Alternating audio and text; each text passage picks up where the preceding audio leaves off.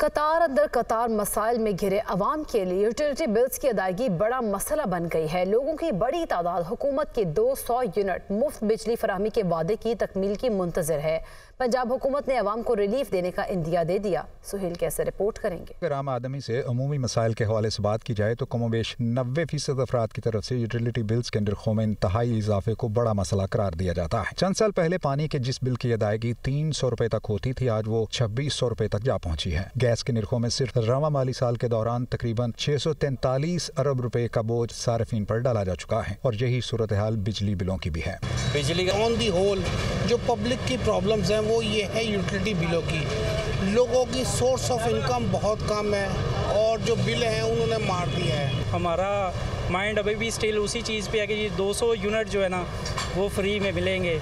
Mean while अब सारा कुछ अब सामने है। इस सूरत हाल के पेश नज़र इंतबी मुहिम के दौरान मुख्तलिफ़ सियासी जमातों की तरफ़ से यूटिलिटी बिलों में रिलीफ देने के वादे किए गए थे। इन वादों में से एक मुस्लिम लीग नून की तरफ़ से इकतदार में आने के बाद 200 यूनिट तक मुफ़्त बिजली फ्राहम किए जाने का वादा भी था और अब शहरियों को इस वादे की तकमील का बेताबी से इंतज़ार है। जो सोलर पैनल्स हम सौ यूनिट तक के जो सार्फिन हैं उनको देने जा रहे हैं।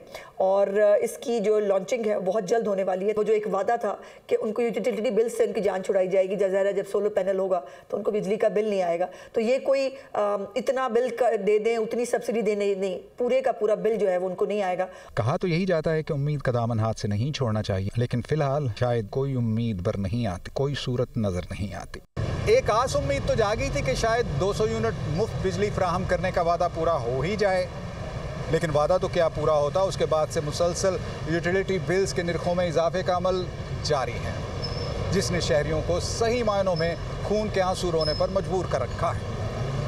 कैमरामैन जिशान जाहिद के साथ सुहेल कैसर, दुनिया न्यूज़, लाहौर।